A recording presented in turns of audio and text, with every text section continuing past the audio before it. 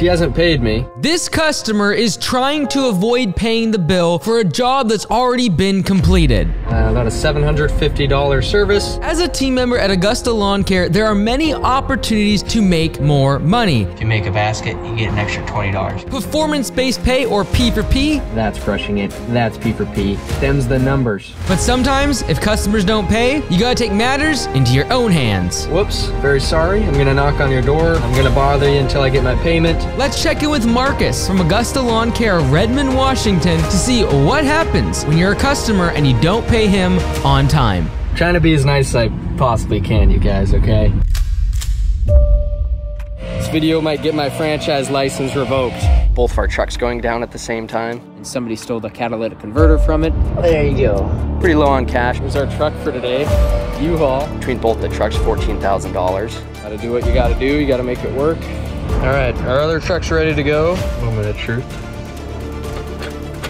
Mm.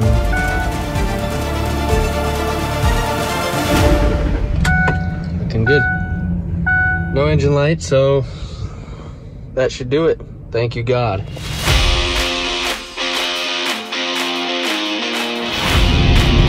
The Great Pacific Northwest.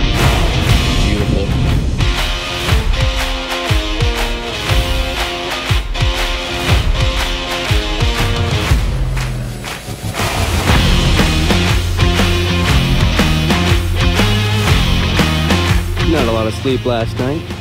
Got to bed 1, 1.30 a.m. Finishing emails, estimates and things, which means I need to delegate more, but that's springtime, baby. Today we're doing some initial overgrown mows. This one is actually the best out of all of them. It's not too overgrown. Looking for some things in the lawn, so before my guy comes through and mows the rest of this, looking through it, no dog toys, no huge rocks that's gonna go on and shatter some of these windows. Setting my guy up for success. Is what it is. It's that time of year, time to grind.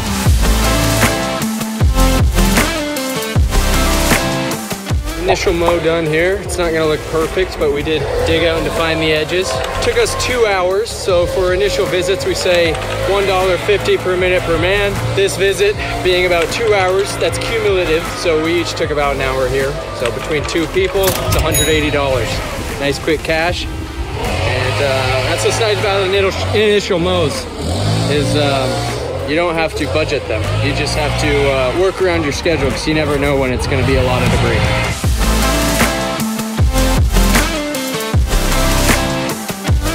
Well, got two five-star reviews today. Awesome, helps our business a lot, and you know what that means. They get a shoot for even more. Let me show you. There's the rules there. Five-star Google review, get $30, but if you make a basket, you get an extra $20. Get three attempts, basically that line. It's about eight feet to make the ball in the hoop, which fell down because that hook up there. So I'll hold it for now. All right, but you got three attempts per review. You just, got, you just got to make one.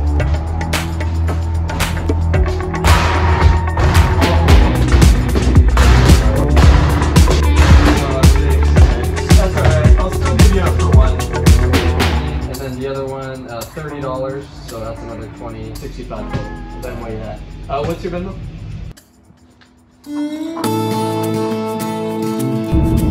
Look at that tree. Just levitating. We have levitating trees over here in Washington. I don't know if you knew that, but. Little overgrown mow back here. This one up the size of my knee.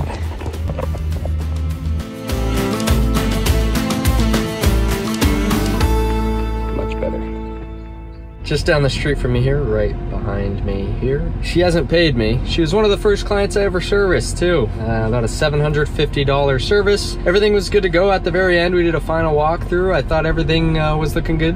Um, she said it was looking good. They even gave me a five-star review, but um, apparently they thought that would be a good substitute for payment instead of paying me the $750. So um, between then and now, it's been about a month and a week. Sent her about 15 emails, all of which she has opened on our software. It'll be able to tell us if she opened it or not, and she did. We called her five times in the last week and a half. I called her today, and she actually answered. She just kind of listened. She didn't say anything. I don't know if she meant to answer or what, but I'm gonna figure out what's going on. I'm in the neighborhood, so it's 7 p.m. and um, perhaps you're eating dinner. Whoops, very sorry. I'm gonna knock on your door. Uh, I'm gonna bother you until I get my payment, uh, and if not, I'll try a couple times here more, uh, and if I don't get the payment, then I'm sorry, I'll have to send you to collections, which will destroy your credit, and we're gonna get the payment anyway, so is what it is. But yeah, they, they literally gave me a five-star review. They said the service was great. Love to get paid, so that's what I'm doing right now. Um, I'd love to be serving more clients, but some clients you kind of got to come back to, make sure, you know, you're actually getting paid for it. God forbid, right? So let me do that now, and I'll let you know how it goes. Stand by.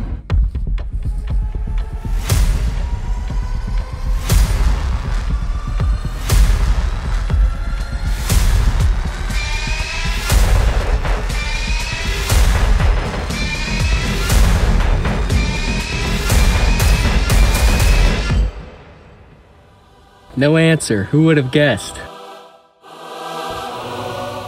All right, leaving them a little bit note. There you are. Hopefully, should be pretty obvious for them to see it. There's your note. trying to be as nice as I possibly can, you guys, okay? I could have left 20 yards of mulch in their driveway so they couldn't get in the garage, but I decided to do this instead. So at least they'll see it now. We'll see what happens. I'll keep you updated.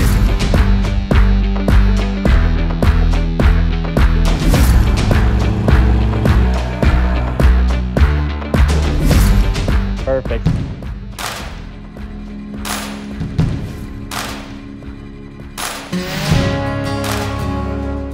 Let me share with you the beauty of P4P. This is what happens when things go right.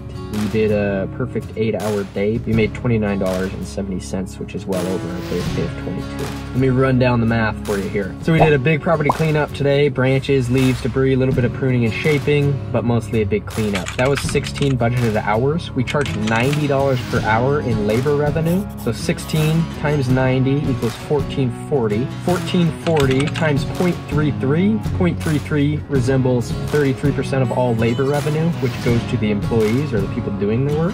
So 1440 times 0.33 equals $475.20. That divided by two, since there's two of us, equals $237.60 is what each of us made today. Divide that by eight, since we each worked eight clocked hours. That's equal to $29.70 is what we each made on P4P. That's crushing it. That's P4P. Doesn't always happen like that. What I told our employee is that that's not guaranteed. If the client calls us back tomorrow, that's gonna take away from our pay because we're inefficient. We should have got it done right the first time. We did a full walkthrough with them. They said they were happy. Sometimes they take another look. They say, ah, those two branches I want gone. You missed this in the backyard. I didn't notice this when we were walking through the first time. So those things happen. Walkthroughs are to avoid that, but sometimes you have to go back. Them's the numbers. Check me on that. I may be wrong. If you're making about $30 per hour mowing, doing property cleanups, raking out pine cones, I'd say that's pretty good, no matter where you are.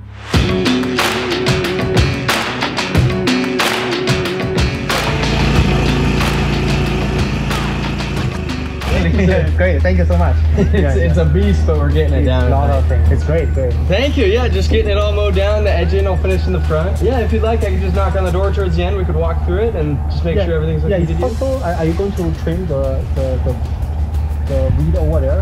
Um, it just include the lawn, but if you'd like, I could just knock it down. Yeah, just knock that down. Okay. Yeah, yeah. Okay. We'll get this mowed down. That way she can play more soccer back here. Sounds. Thank you so much. Yes, sir. Yeah. yeah. Good talking to you. It's awesome. Great work. Thank you, sir. I really appreciate it. Hey, if you don't mind, you know, if towards the end of the service it's looking good to you, we Yeah. rely heavily on Google reviews. If you could just give us a five star review, Sure, sure, we would love that. Thank you, Uh, sir. I'll knock those down. I'll mow this down, and then I'll connect with you as far as that goes. Okay, and there's a few bush here. If you can move with. Just knock that down too. Okay. Will thank do, you so sir. Much. Thank Thank, you you. so much. Thank you.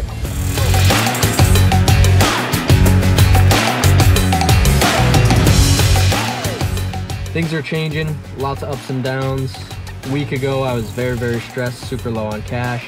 I got about $6,000 that just came in. That was from two big projects that we just completed recently. Uh, and another $750 about, maybe a little bit more than that from that client. You remember that client? I left a note on that cone outside of their garage, kind of blocking their driveway. They paid, so didn't have to send them to collections. Collections takes about, I think, 20% off the top or whatever they collect from us, which is basically our profit margin. So you're basically breaking even if you do send someone to collections. So try to do everything um, before it gets to that case, which in this instance it worked.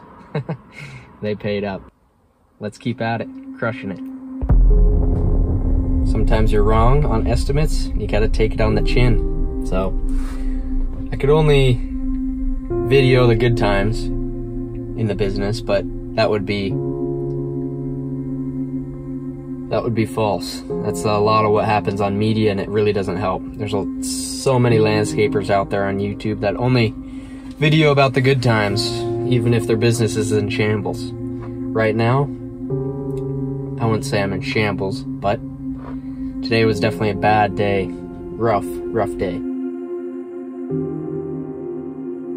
Started out explained my first employee, Cole, going on the whiteboard, showing him P for P, kind of the whole breakdown on how it works in the pay period. So we started a little bit late. I would say that time's necessary because it's good for him to know. You know, it's it's not wasting time if you're taking time to explain P for P and the pay structure or other business concepts to him. It's more than right for an employee to know how much they're going to get paid and kind of what that looks like, especially on P for P, because if we're all pulling in the same direction, that's great. Um, and for him to know how the whole game works, like Tommy Mello says, they, they need to know the rules of the game. You tell people how to win the game. You tell them exactly how they're going to get paid. You tell them how to have a sick day, how your PTO works. You explain when a truck breaks down. You're giving them the rules of the game and how to win. So we got a little late start to the day, and I'm an idiot, and I forgot these bins. So we put debris in bins back here. So I forgot them. We were about halfway to the project, filling up on gas. So about $125 for gas to fill up my truck and these two tanks. A little two cycle in the other one. Spend another 100 on getting four more bins, so 25 each. So basically down $250. Worked about an eight hour day. He makes $22 per hour base. It doesn't look good anyway you spin it. So today definitely probably lost money net, if not only made a little bit, because we got on the project today and we went way over budget. It was due pure to estimator error. It had nothing to do with anything extra that we uncovered during the project. Just ended up being a lot more debris than I thought. So, like I said, you take it on the chin. I told him, I told the employee, I said, hey, this is my error as an estimator. I take full ownership of it. And sometimes these things happen. Uh, we still have a full pay period, so the pay period just started basically today. So we still have a full pay period to make this P for P back, and he understands. You know, uh, sometimes when you're angry, you're mad, you're frustrated. I had to move other jobs off that were on today. So you know, you're letting down clients. You're you're over budget on these projects, and you still need to get them done. And it's a longer day. Today was 95 degrees out. No no shade on the property at all. So uh, you're just baking in the heat all day, going way over on a project. So I was frustrated. I was mad. Um, and basically, you know, when everybody's pulling in the same direction on P for P, performance based pay, sometimes there, there's estimator error. And no matter how hard they work, even if it's in 95 degree heat and they're crushing it, sometimes you're still over on budgeted hours. And that sucks if you're on P for P. So, like I said, I took it on the chin, took extreme ownership of it. I talked to him about how that happens. They're estimates, not exactimates. But yes, I was wrong on this one. He understands. So that's just transparency. Sometimes when you're mad, you're in denial. I could have said, well, if we were more efficient or this morning, you know, you could have remembered the bins as well, even though I forgot them. No, you take ownership. You're the leader. You take ownership of those things. Everything that happens is on you. The bad is on you. Try to project the good on them. Just worked a full nine hour day, plus two hours at the end for estimates. Now, I'm gonna take care of some emails, some miscellaneous things, and we'll stretch, we'll work out, we'll do it again the next day. More pain, more suffering, more growth tomorrow. Good night, y'all. All right, Bleeding's not gonna stop. Viewer beware. I'm a little unsure if my index finger's still on or not, so we're gonna go to the ER right now.